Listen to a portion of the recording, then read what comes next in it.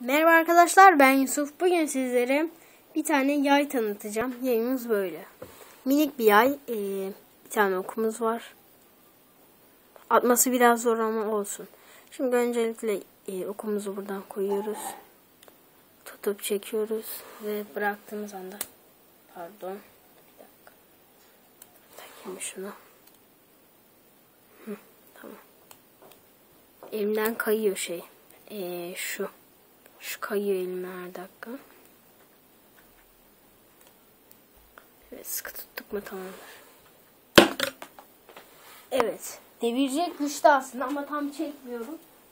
Arkadaşlar ee, bu yapmanız ve atarken sakıncalı çünkü e, eğer göze veya birine atarsanız olumsuz etkileri var tabii ki de.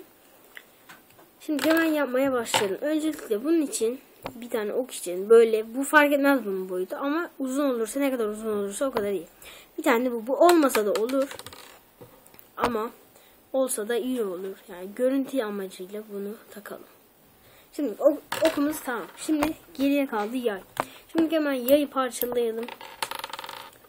Evet. Tamam. Arkadaşlar öncelikle bir tane şu parçadan lazım. Böyle.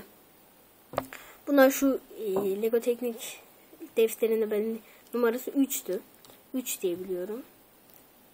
Şöyle tam ortalıyoruz onu. Hemen ardından da şu şu parça böyle biraz yatık. Onu buraya takıyorum. Diğerinde diğer tarafa. Birinde bu tarafa. Pardon böyle değil. Bir saniye. Şunları döndüreceğiz şöyle. Bu şekilde olacak arkadaşlar. Böyle olacak. Yatık tarafı böyle olacak. Bu şekilde. Ondan sonra buraya şundan diğer tarafa da takalım. Bundan. İkisini de takıyoruz. Sonra bunun düzlerinden şöyle. Yalnız arkadaşlar burada dikkat edeceğiniz şey e, bu şu taraflar her zaman böyle bakacak. Yani hepsi aynı bir yöne bakacak. Ve evet gelin en önemli kısımlardan. Arkadaşlar bu parça e, normalde bir jant, araba jantı, lastiğin jantı. Ee, şimdi bu jantı kullanacağız. Lastiğini çıkardım. Bu bir tane şundan takacağız. Bunu böyle buraya takacağız. Diğerinde gene böyle bu buraya takacağız. Onu da buraya taktıktan sonra geriye kaydılı bir tane lastiğimiz. Lastiğimizi öncelikle ortadan ikiye katlayacağız. Yani ortadan ikiye derken ikiye katlayacağız. Şöyle bakın.